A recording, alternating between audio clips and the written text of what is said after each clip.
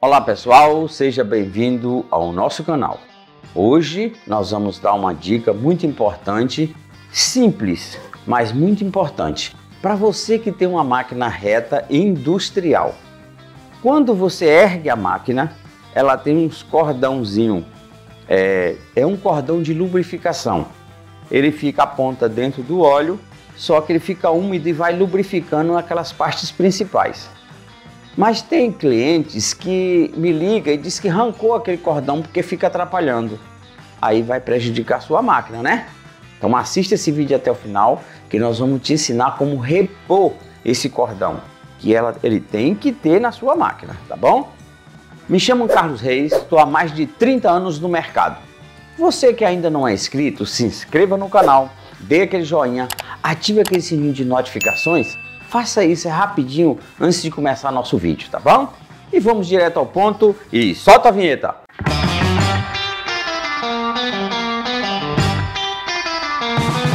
Bom pessoal, essa é a nossa máquina reta industrial.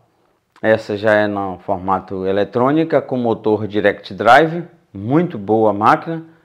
É simplesinha, ela só não tem corte de linha. Mas ela tem parada de agulha, você regula a velocidade. Mas enfim, o que eu quero mostrar para vocês é uma parte que tem aqui embaixo, onde tem os cordões, tá?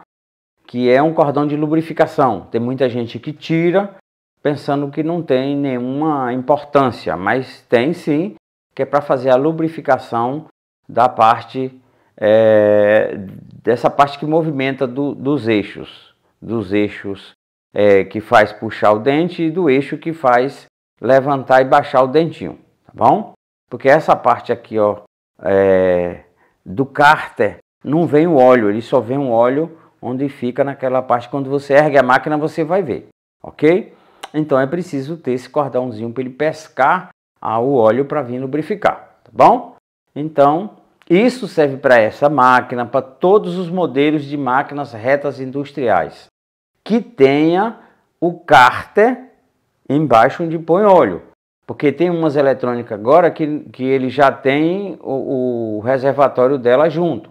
Tá? Estou falando para esse modelo que fica o óleo naquele cárter. Tá bom?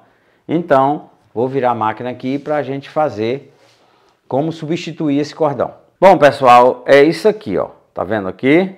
Tem esses dois cordõezinhos, tá? É um cordão de algodão, tá? Esse aqui já vem da máquina. Não sei se vocês sabem que nos shorts, shorts de tactel, essas coisas, tem um cordão no short. Então é tipo o mesmo cordão do tactel, só que é um cordão mais fino, tá? Se ele for muito grosso, eu não consigo passar aqui nesse nesse canal, ó. Tem um canal aqui, ó. Tá vendo esse furinho aqui? Ó, ele sai aqui, ó. Por isso que eu deixei esse aqui, ó. Ele vem daqui, entra aqui e sai ali, ó tá? Então as pessoas pega, corta, pega, puxa, arranca.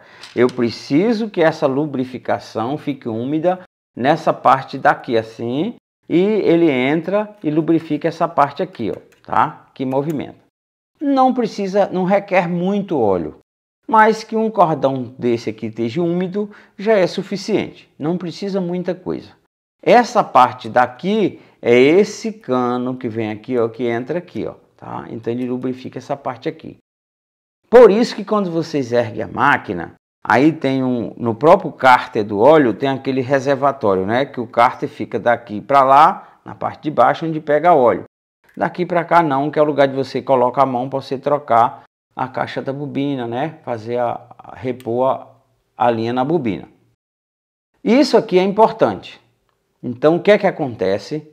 Olha, tirou, não pode ficar sem. Então, se por acaso você não conseguir isso aqui no mercado, mas se você tem um, um, uma linha que é de algodão, ó, a é fina, não tem problema, faça mais ou menos assim, tá? E você faz isso aqui, ó, um, ó, três, quatro, tá? Aí se você enrolar um no outro assim, ó, já ficou mais ou menos parecida, tá vendo? Então pronto, ó. Quatro linhas já é suficiente, não precisa muito. Aí você corta aqui, ok? Eu preciso dar um nozinho aqui Não precisa ser inteiro, porque vai ficar grosso. Você pega uma dessas pontas aqui, ok? E dá um nozinho aqui, ó, só para ele não esfiapar na hora de você introduzir ele dentro daquele canal, ok? Ó. Pronto, eu travei ele aqui, ó, tá travado, pronto. Aí o que é que você vai fazer? Se você quiser torcer ele, pode torcer, não tem problema. Fazer uma trancinha também pode ser feito, não tem problema. Ó, eu torci ele aqui, pronto. Aí eu preciso, esse daqui é dele, eu só tirei para te explicar, tá bom? Então eu preciso introduzir esse até lá. Então você pega isso aqui, é um raio de bicicleta, tá? Não é aquele raio grosso, não, é aquele normal. A pontinha dele aqui, ó, é de rosca. Então isso aqui ajuda bastante. Então você coloca aqui, ajeita ele aqui para ele enganchar aqui, ok? Ó, pode dar uma enroscadinha se quiser. Eu preciso enganchar ele aqui, ó, que ele precisa levar esse cordão até aqui, ó, tá?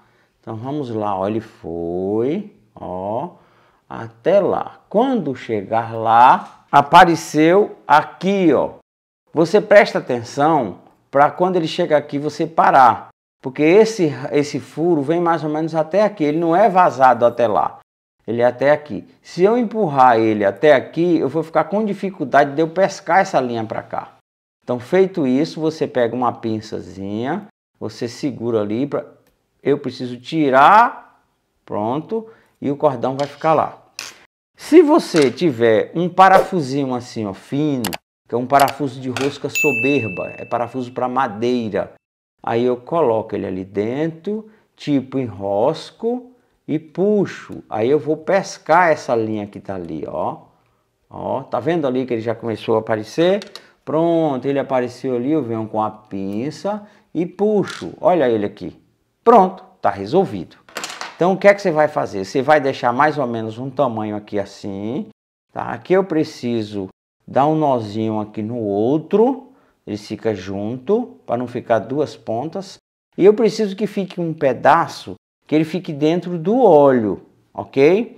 Por isso que você tem que manter o óleo da sua máquina naquele nível exato, tá? Ele pode ficar naquele primeiro nível, que é o máximo, ou naquele segundo tracinho, que é o mínimo.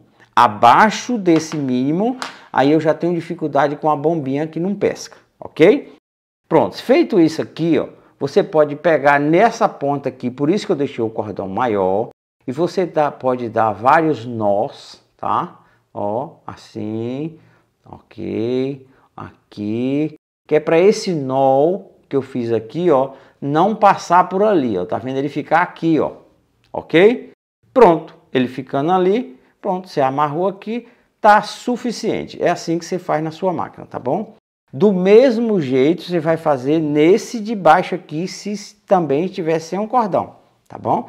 Ou se o seu cordão estiver muito curto, não precisa você trocar ele todo, você emenda um cordão aqui no outro, que ele fique sempre naquela parte úmida do óleo, ok? Então, feito isso aqui, está resolvido e não tire isso aqui, que isso é muito importante para a máquina, para ele manter isso aqui lubrificado, para dar uma vida útil maior em sua máquina, ok? Então, pronto, é assim que se faz para colocar o cordãozinho. Não precisa ser específico dela, é importante que seja um cordão de algodão, ok?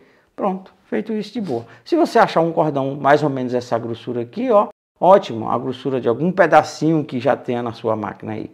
Se não, pode fazer assim que dá 100% certinho. Espero que você tenha entendido e se não tiver, coloque nas suas máquinas e pode funcionar de boa, tá bom? Mas se não tiver e não tiver tempo de fazer urgente, não tem problema, você pode ir trabalhando com sua máquina. Quando você tiver um tempinho, faça, porque é muito importante na máquina. Ok? Pronto. Eu acho que você entendeu como fazer isso aí. Não tenha muita pressa, faça isso com tranquilidade. Esse canal aqui é bem é, aberto, ele trabalha de boa. Você só não pode botar uma corda muito grossa, você vai ter dificuldade de passar. Pronto. É isso aí. Olha para esse aqui, por exemplo, ó. Olha a facilidade que ele corre, tá vendo? É o original da máquina, ó. Não precisa ser muito grosso, tá bom? Se você observar a passagem que tem aqui, esse furo é mais largo do que essa saída aqui, ó. Ok? Então pronto, de boa. Bom, pessoal, tá vendo aí? É um pouco difícil, mas dá para fazer sim. Com certeza, vá devagarinho, daquele jeito que eu fiz para vocês verem aí a demonstração, e vocês colocam um cordão de algodão, tá? Pode ser esse cordão que você amarra, alguma coisa, se não for da grossura exata, faça igual eu fiz, ó. Bota lá três, quatro ou cinco peças, dependendo da grossura do cordão, só não pode ser muito apertado, senão você tem muita dificuldade de passar ele. E também ele não pode ser justo, ele tem que ter uma folga para o óleo correr ali, que ele está seco, então ele vai sugando o óleo e fica sempre úmido para fazer aquela lubrificação, tá bom? Então eu espero que você tenha gostado. Não tire mais esse cordãozinho, tá? Que é muito importante para sua máquina, beleza? Então, você ainda que não é inscrito, se inscreva no canal, dê aquele joinha, ative o sininho de notificações e ponha nos comentários sugestões de vídeos que nós vamos produzir para vocês, tá bom? Por hoje é só e muito obrigado.